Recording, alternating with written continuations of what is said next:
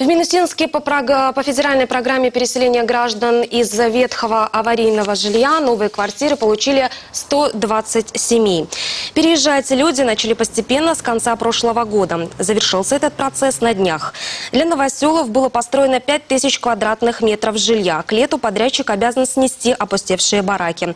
На эти цели из бюджетов страны, края и города выделено около 200 миллионов рублей.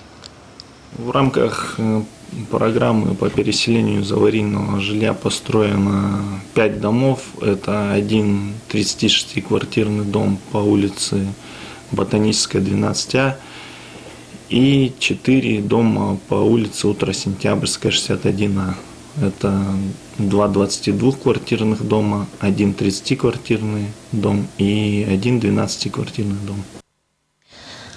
Благодаря программе новоселье справили почти 300 человек. Все дома полностью благоустроены. Большинство переселенцев своим жильем довольны, ведь прежние аварийные квартиры были с печным отоплением и удобствами на улице.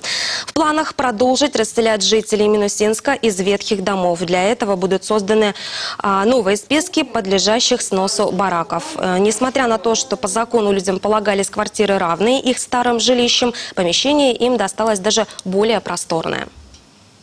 У нас было 42,6, а здесь 54,9. То есть почти на 10 квадратов увеличилось. Плюс эм, этаж стал выше, гораздо светлее стало.